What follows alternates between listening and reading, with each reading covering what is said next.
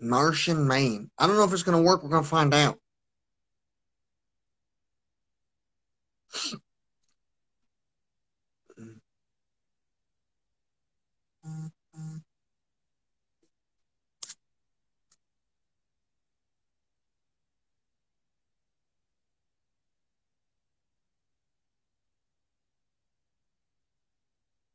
Hello. Hello, hello. Dang, my phone is up. up. Shut up, phone.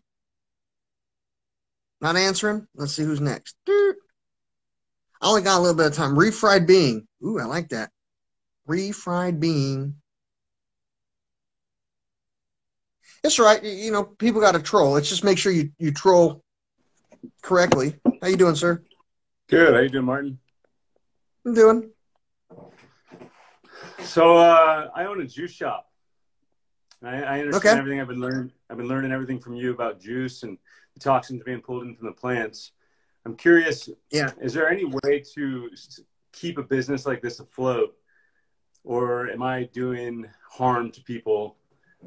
Well, I mean, you can. You can.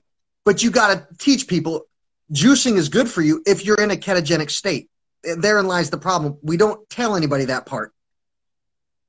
Right. So I, I'm I, I I've been drinking orange juice the last couple of days in the morning because I made sure I've de- I'm not eating a bunch of donuts, chocolate, you know, Starburst licorice. I'm not eating a bunch of other sugar so that I can have the the, the sugar in the in the orange juice, and my body will still enter ketosis, removing the toxins from the orange juice.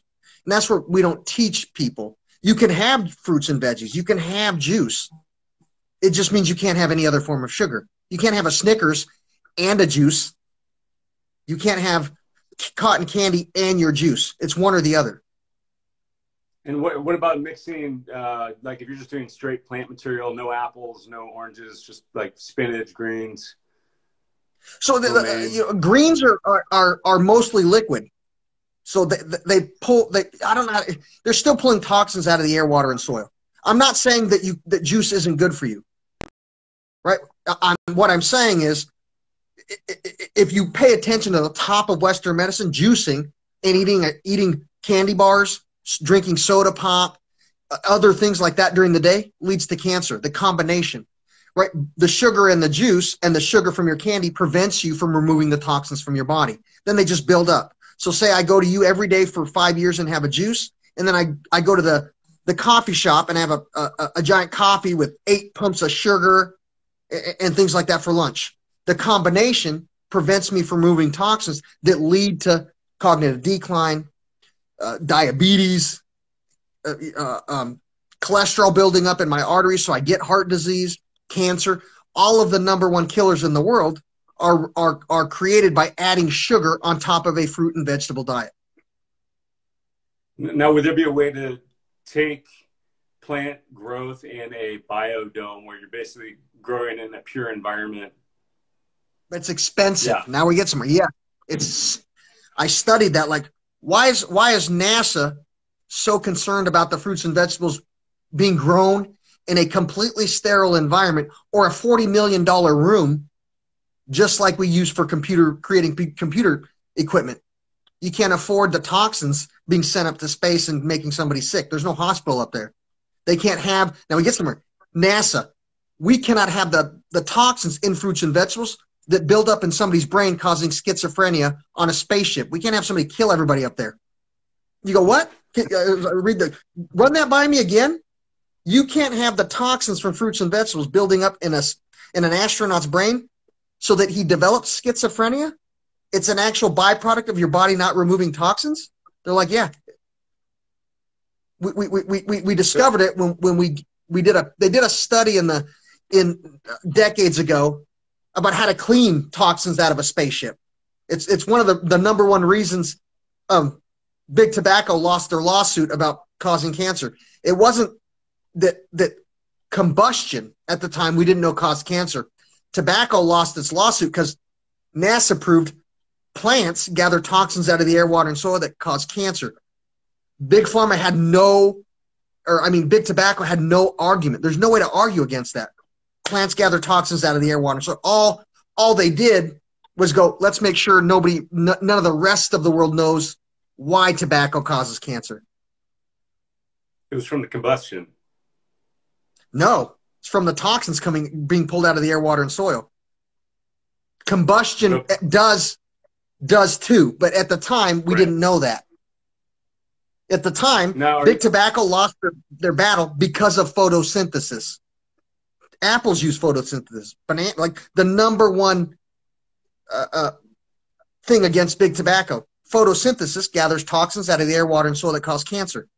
They lost a Supreme Court case because plants gather toxins, cancer-causing toxins out of the air, water, and soil, and they just went, "Don't let anybody else know bananas are a plant. Don't let anybody else know spinach is a plant. Don't let anybody." Right. But, no, you you can. Your business is fine. You just got to make sure you tell your patients if you're going to juice to be healthy, you can't have two candy bars during the day too. You can't have a bag of cotton candy. You can't have I mean, four servings of would that potatoes. eliminate? Would, would that eliminate juices that have apple juice in it? Because the apple juice is going to raise your glycemic index. Same thing. It, no, no. Here we get. If you have, you can have apple juice. You can have regular juice. You just can't have juice and candy. You can't have juice in soda pop. You can't can- What's the difference between the candy and the sugar from the apple? too much. So the say the apple, you know, apple juice has 20 grams of sugar, and then you have a Right. candy bar with 100 grams of sugar. You're you're consuming too much sugar in your daily activities. It's one or the other. You can't have candy and soda and fruits and vegetables. It's one or the other. Now we now we can tell Mars or Snickers do not have cancer causing agents in your candy bar, but you can't tell a, a, a apple tree don't gather those toxins out of the air, water, and soil. We can't tell nature, but we can tell man. So it's it's one or the So other. are, Your body was are you familiar with Go ahead. uh, Max Gerson? Max Gerson, what he was doing, the Gerson Institute. not really. I mean, I've, I've heard his. I've, He was taking. I've heard somebody- that were pretty terminally ill with cancer, and he was taking them down to Mexico, and he was getting pretty good results, healing people with uh, all green juice, uh, fast, Ketosis. along with. ketosis. Yeah. Okay. It's it's not the juice. It's ketosis. So that that what you're talking about is an actual study from um, chemo and radiation. So chemo and radiation, in the beginning of their history, had to have test subjects. So say you had throat cancer, and I want to test my chemo. I invented chemo and I've invented radiation. I want to test it on you, right? In the beginning, we burned the shit out of you. We maimed your inside. We scarred your skin, made you almost die from the testing. So they go, we need to have a, re- a way to fix him if we maim him. They went ketosis. So then I maim you using my chemo or my radiation. It doesn't cure your cancer, but I can't have you in the study anymore because you're hurt too bad. So I say, do ketosis for six months, come come back and finish the study. You come back and the ketogenic diet cured your cancer. So they Gotcha. you're no longer, it, it, you know. And then people went, can we pretend? Can can we say it's juice? Can we say it's broccoli? Can we say it's this? Can we, ketosis? There's one. Uh, it's written on pyramids. The kings and queens in the old days were the only ones who could eat fruits and vegetables, and they literally state the people who eat the sugar, the sweets, have the money to pay for the luxury, died of cancer. They died of diabetes. But the you who weren't a king, you never got diabetes. Your family never got cancer. We, we've known for hundreds and hundreds of years cancer is created by fruits and vegetables. It's literally one of the first things humanity went, we got to practice fasting. We created fasting in every religion to prevent cancer, diabetes, and heart disease. It, it's the reason religions have it to, to remove the top three killers in the world today in developed nations. And then we just pretended it doesn't So why- exist so why- anymore. Why, do uh, why why do practices like Kundalini? Why are they promoting plant based, high carb diets? It's a bullshit lie. It's a bullshit. Now, is it the Kundalini, the snake in your belly that releases a venom, right? Yeah. Your intestine when you don't eat. Snake, your intestine. A hundred years ago, if I showed you an intestine, you would think it was a snake, wouldn't you? Right. And the venom, right? Ketones, what is that? Well, the snake has venom. This I don't. The snake doesn't have a head. Now we get somewhere. The Kundalini is a headless snake that's inside of you. Where did they get that? Literally, it shows an autopsy of somebody having their intestines pulled out, and they thought it was a headless snake that lived inside of people. Right. Right. So, and then as far as the, their argument is the sentience or the the spirituality or the, the ability to reach higher spiritual states without consuming another animal versus not consuming that. Now that's a, so. Now we get somewhere. That's an actual lie. You can't reach the higher mental states unless you have animal products, meaning your own body, your own meat and fat, or something from another life. My brain doesn't get the sugar it needs to rebuild itself from fruits and vegetables. So this is something we don't teach you. Your central nervous system, your chakras, your kundalini, the most important organ you have is your central nervous system. It carries the signals to heal your heart, to heal your brain, to heal everything. It doesn't repair itself with sugar from fruits and vegetables. Only sugar your liver makes from meat and fat. Okay, so that's that's the diet. Now Kundalini itself, there, there's moments in, in the practice where it feels like some of the techniques nope. help to reach nope. flow state. That same flow nope. state that no? No. What, I'm going to help. I'll tell you what the flow state is. I'm, I'm going to help you what it is. If I stick you in a room every day and I don't give you any new music, any new information, every day for an hour, nothing has changed. There's no information coming into your brain. There's no bottleneck anymore. Today you come in my in my studio, you see the same picture, you listen to the same song. You've heard it a thousand times. You saw the picture a thousand times. What do you need to remember today? Nothing. I said the same thing I did a thousand times before. There's nothing new going on. Just like school, right? Uh, and, and in real life, fake spiritual gurus set up their their yoga studios, their yoga and Kundalini studios to match the the structure that the military sets up for flow state. So the military states, if I want to put you in a flow state, I have you do you eat breakfast at the same time, you do your PT at the same time, you, right. you do your schoolwork at the same time. Eventually, nothing has changed. And an hour or two or whatever during the day, whatever I pick will be the hour or two for your flow state. And some people went, I can do this in a yoga studio and they'll never know that's what it's from. I can pretend it's from meditating. I can pretend it's from fruits. I can pretend it's from Mishma. I can pretend it's from peyote, LSD. I can make up anything I want. It, well, that flow state, that structure. Is like some some of the kriyas that you do in Kundalini are very repetitive when you're doing like your arms over your head like this for 62 minutes. Stupid. Now, now, well, yeah, maybe stupid, but at the same time, I noticed that my physiology is actually in way better shape after doing Kundalini just from. Well, now we're getting somewhere. You're, you're doing this. What are you doing? Replicating the military, making somebody hold out a half a pound stick. I mean, they got the strongest right. men in the world. Take this stick and hold it out like this. I can't. It's too heavy. What do you mean it's too heavy? It doesn't even weigh a pound. Do my hand weighs more than the stick. I'm putting. I'm, you know, they're just they're. You're doing exercises and you don't even know you're exercising. Now, what well, is, I know I'm, I hmm. know I'm exercising. That, that's why I'm doing. I'm saying that there is some benefit to the practice of Kundalini. Well, yeah, but you got to tell the truth. Now we get somewhere. Yeah. The truth. These movements, they're toning your muscles. They're you're keeping your blood flowing while you're sitting. Now we get somewhere these moves that literally states it doesn't do anything for your brain but keeping your blood flowing. If you're going to sit like this for 12 hours, your legs are going to go numb and eventually suffer atrophy if you did it for more than a few days and you, you won't be able to walk for a month. How do you prevent that? The moves in Kundalini. I stopped you from getting atrophy. And I'm not going to tell you that because I never had you sit long enough for your legs to fall off. You have no idea about your own biology. You don't know sitting like this for 12 hours every day or two hours every day will cause you permanent nerve damage in your body that you won't realize you have until you're 50 or 60. There's a lot of people today that, that are just freaking decrepit. And you go, well, what did you do? Yoga and Kundalini. You, you, you sat in a position and damaged your body your whole life. And now that you're older, you can't keep up with the damage. Your body can't re- remove the damage as fast as you've trained yourself to create it. But most of the chiropractors and, and acupuncture are people who practice yoga and kundalini chakras. It's a gateway into other like damn, you got you have arthritis now? Well, I got a buddy who does you know, I got a buddy does acupuncture. Oh shit! Right. Sitting in my sitting in my my yoga studio for two hours every day gave you nerve damage in your legs. I got a guy that will knows how to do the best homeopathic chiropractic chiropractic practice Work magic. Uh, release your, uh, you know, release that tension in your sciatic nerve. Well, how did you get it?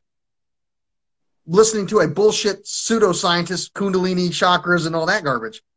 We give you the problem, and you don't realize. So I, I, I didn't get it from sitting in my class, spirituality. My class was about making myself better. I don't know where I got it from. And you, you the chiropractor, I sat with. There's one up on the hill. I used to sit in his office, and they'd ask, "Can Martin sit?" I just observed. How did you get your injury? I have no idea where it got came from. I just woke up one day and I had it.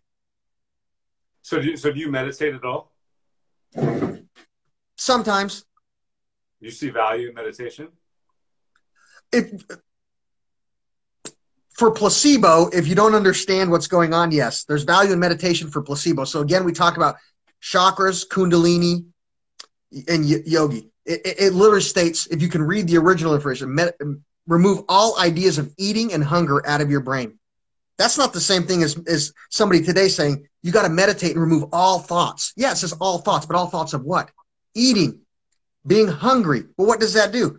Puts you in a ketogenic state. What does ketosis do? Repairs nerve damage. Nerve damage that are, are in my central nervous system connections that are identical to the chakra points. Ain't that interesting? Chakra points are identical to the my, the places where my central nervous system connects. And in right. in in Western medicine, they have this thing called microfrequency lesioning, where they damage your nerve on purpose, and then they tell you if you stop eating for a long period of time, your body will heal this damage, align your chakras. They even like you don't know what uh, uh, you know repair the damage, align your chakras. Some doctors even use they use the terminology. It will repair your chakras. It'll align your chakras, and you won't have this nerve nerve damage anymore that I gave you so you don't you're not in pain. And if you repair it, your insurance company's going to drop me. I get 300 people a month from your insurance company. I can't have you doing ketosis and reversing this damage. I get so a lot of money from your.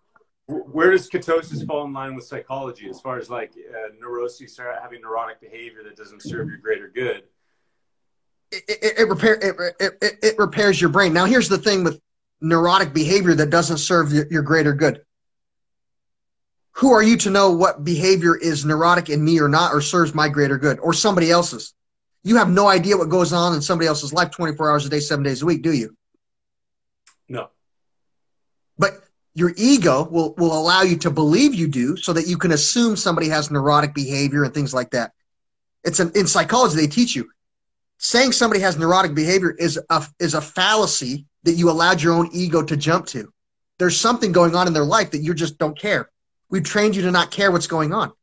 It's a behavior that benefits them for something, and you are too self centered to figure out how it benefits them. That's psychology. Well, so you're at like. Yeah, I mean, the psychology of me say it's somebody that I care about and they have a drug addiction. Obviously, the, they're using the drug addiction to help with some other trauma in their life to avoid dealing with that trauma.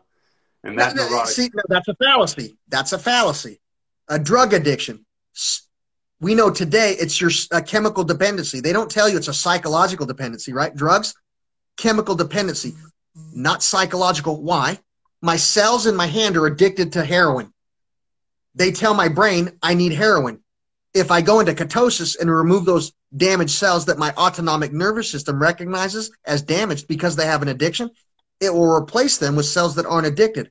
And if I do that long enough, the signal from my cells that are addicted to chemicals goes away and never tells my psychology to relapse. You get new cells. We we actually cure like cure. Like chemical dependency can't be cured in you. Right? You're a citizen a civilian. If you were i shouldn't say that. I'm assuming you're a civilian. If you're a civilian chemical dependencies is incurable. If you're a submarine operator air fighter jet pilot somebody who spent millions of dollars training we have a ketogenic routine that will cure your chemical dependency. Cured. 90 over 90% effective rate. Okay, so so we get rid of all religion because we see that these are false ideologies that people are holding on to. What replaces that hole in people's lives? The actual true creator, the root of David. Let let human let why why should religions leaders and scientific leaders study this body of light? and create a false religion for you to worship while they study the original? Why don't why can't you just if it was good if it's good enough for the top of the world, shouldn't it be good enough for the bottom? Of course. Right? E- equality. How about so you're asking, what do we do if we remove all these religions? Equality. You get to study the same thing that the Pope does, or the, the same thing that the leaders of Islam study, the same thing that the leaders of Hinduism, Judaism. You get to now study the same thing that they use to create a religion to make money to study. Right now, we have we have religions have made enough money and society has come far enough where we no longer need to exploit a population to get the money to buy the the the resources or gather the resources needed to study the creator. Right? In the beginning, a monstrance, that's a $50 million. $50 million a few hundred years ago, it's like a billion bucks. Not everybody has a billion dollars. But today, with the advent of modern technology, a monstrance now costs less than five bucks. Everybody on the planet now has the the the resources to study the same thing as the Pope, study the same thing as DARPA, the same thing as NASA. You don't need you don't need four billion dollars anymore. So why isn't there a company out there mass producing monstrance and tabernacles? Well, now we're getting somewhere. I don't think I don't think I think that they've kept a, and I don't know how to explain this. I, I did something, you know. Here's here's how monstrance works and people were like, Jesus Christ, you can't do that. And and and people were like, no, he can. He's the one that can. So you're asking about making a, you know, why aren't people making them? I just think because people at the top went, whoever tried before wasn't allowed. And I'm not going to lie. Before me, nobody was allowed. It's just not allowed. I'm allowed. I'm allowed to teach you how to figure out how to make a monstrance. Nobody else was allowed before me. It was it's it was it's against religion. Well, I don't know how to explain it. Well, we're, we're past that point, so why can't we open source it now? Why can't you what? Why can't we open source it and give that technology to everybody? You can. Now we're getting somewhere. You can. You can, but uh, you can now. But I'm not going to do it for you. So here's where I get somewhere. We're not going to, now we're going to get somewhere. You can, but we're not doing the same thing that old religions do. I'll do it for you. Well, how do you know I did it right? You do it yourself you learn, then you can teach your children and they can teach their children. No more slaves. You learn yourself. Right. So, does that have any relationship to what the quantum computers are, are predicting the future events? Kinda.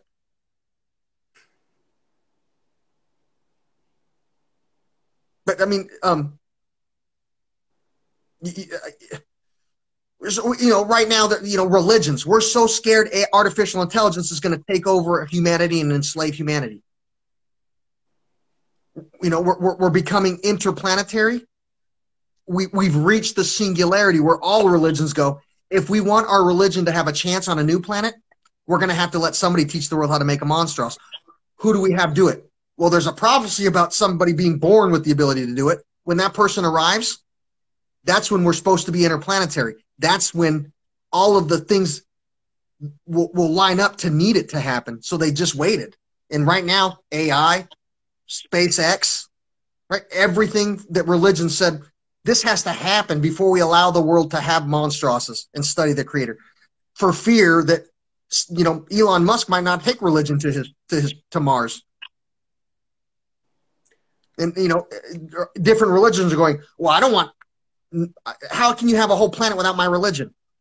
Let's build a monstrance. Let, let Elon Musk know about a monstrance, know how it works, and hopefully he'll pick our religion. I just ran with it and went, well,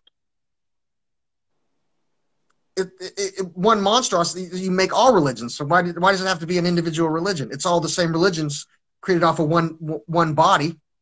So if there is higher higher forms of life on other planets, and there are uh, sentient beings that are anywhere near our solar system, would they be practicing the same type of religious philosophy? No, but I will tell you, there is a image of the creator that they would be created in on other planets. So that dominant image of the body of light, ours looks like this. In Mars, it doesn't look like this. And I think I, I changed, so I did a muon lepton, the first blah, blah, blah, blah, for Earth. And over billions of years, you know, we evolved to look like the image of the creator with a head, a torso, two arms, and two legs. You go on Mars with a monstrance. It's got two wings. Literally, the dominant image of the body of light on Mars. It's got wings. So over billions of years, subatomic particles raining down through all of humanity, generation after generation, it's going to transfer some of that information onto it to humans, just like it did us here. So, so if we're created in the image of the Creator with a head and two arms and two legs, how does that translate to the evolutionary process to all the other animals on planet Earth?